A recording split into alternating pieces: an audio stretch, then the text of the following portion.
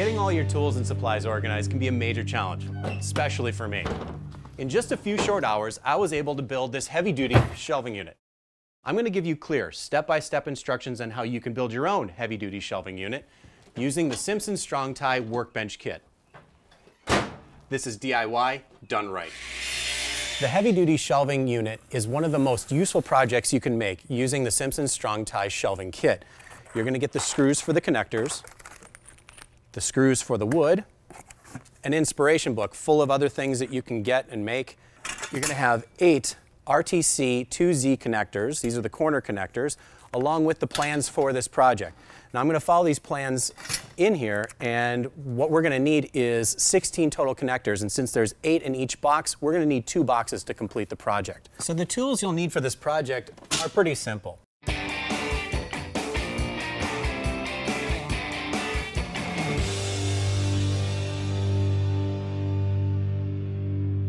So now we're going to get on to measuring and marking all of our supplies, our materials for this project. Inside the kit comes the instructions with a cutoff list of everything that you're going to need for this project. You're going to need nine 2x4x8s and one 4x8 sheet of plywood. We're going to have four corner posts, eight corner edge rails, and eight long rails that are going to go along the sides. So we're going to measure out our corner post. The first measurement that you're going to want to do is six inches off of the end of the corner post. This is for the bottom bracket. You can do that two ways. You can go ahead and use your tape measure, measure six inches, and use a framing square or a large square and run a line all the way across. You can also use a piece of scrap that you cut to six inches, hold it up to the end, and then mark that as you go across each and every one.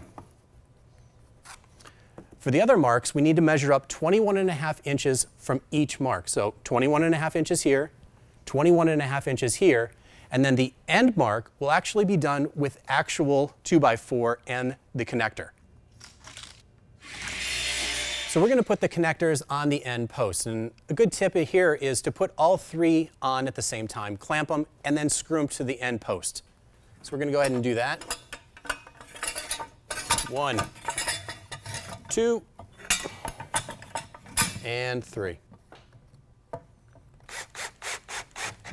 So I haven't screwed this one in for a very good reason. This connector is going to be the very top connector that's going to hold the top shelf. In order to get that one flush to the top, you can take a piece of scrap 2x4, put it into the connector, slide it up to where it's flush with the corner post, and then hold that there. And this way, when you put the top on, it'll be perfectly flush. Let's connect the end rails to our corner posts now. So we're going to go ahead and put the front and back rails on. And these are 45 inches long. And I really believe in these connectors. There's four screws that are going to hold each one of these in place on this side alone. So once I have them connected, I'll be able to put this upright, move the other side on, and connect everything all in place.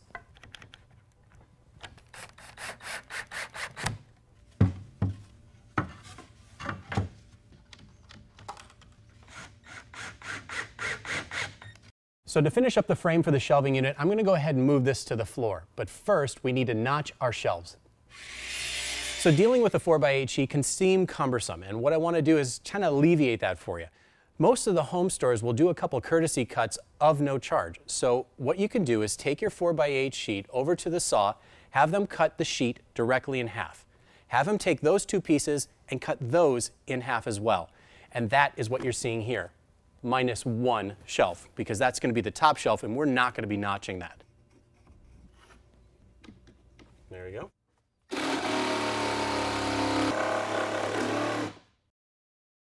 All right, so now that the shelves are done, we're going to go ahead and move to assembling the frame down on the floor.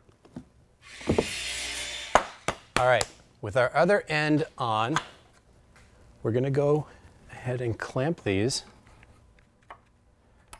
and screw all of these connectors to our frame.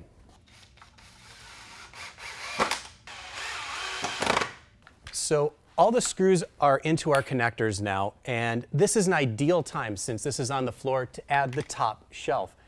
And here's a good tip. I have this on sleepers, which is basically scrap 2x4. And the reason for that is once I get everything assembled, including the top shelf, this unit's probably going to be a little bit heavy. So in order to make the top shelf line up, I'm going to take another scrap of 2x4, put it underneath here. That way everything should line up and I can just set the shelf on there, screw it up, and then we can put it upright. Look at that. Now we're ready for those shelves that we notched.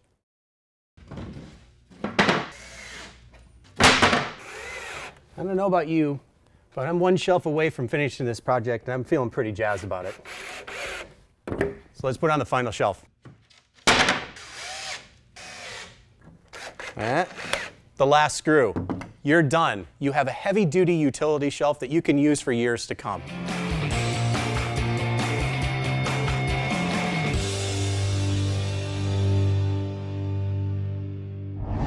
Available now at the Home Depot.